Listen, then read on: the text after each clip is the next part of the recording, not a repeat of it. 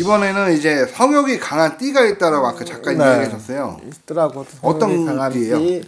남자를 보면 제일 몰라. 좀 강한 띠가 원숭이 띠. 원숭이가 강하다고 선생님? 원숭이도 강해. 아, 그리고 쥐띠는 강한데 변태끼가 있지. 그리고 남자 범띠. 그리고 남자 말띠. 요들은 성욕이 강해. 강하면 뒤로 보면은 강하기 때문에 바람도 잘 피겠지. 요런 사람은 연애하기는 좋을 것 같아.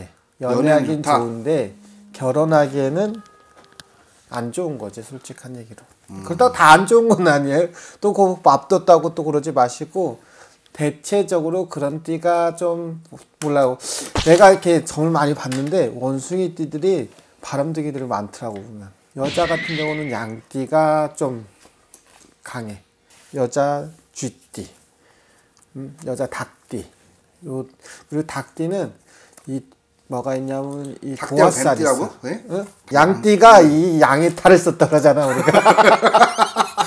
아주 착하고 그냥 달라드는 띠가 양띠야 보면 그, 그 감추고 있어. 양띠들이 좀 그런 게 좀 있고. 어떤 닭띠는 사주에 이게 신살에 도화살이 많아서 이게 한옥의 사주가 많단 말이야 보면 끼가 많아. 근데 이게 속궁합만 잘 맞으면 의도 터져도 산다잖아.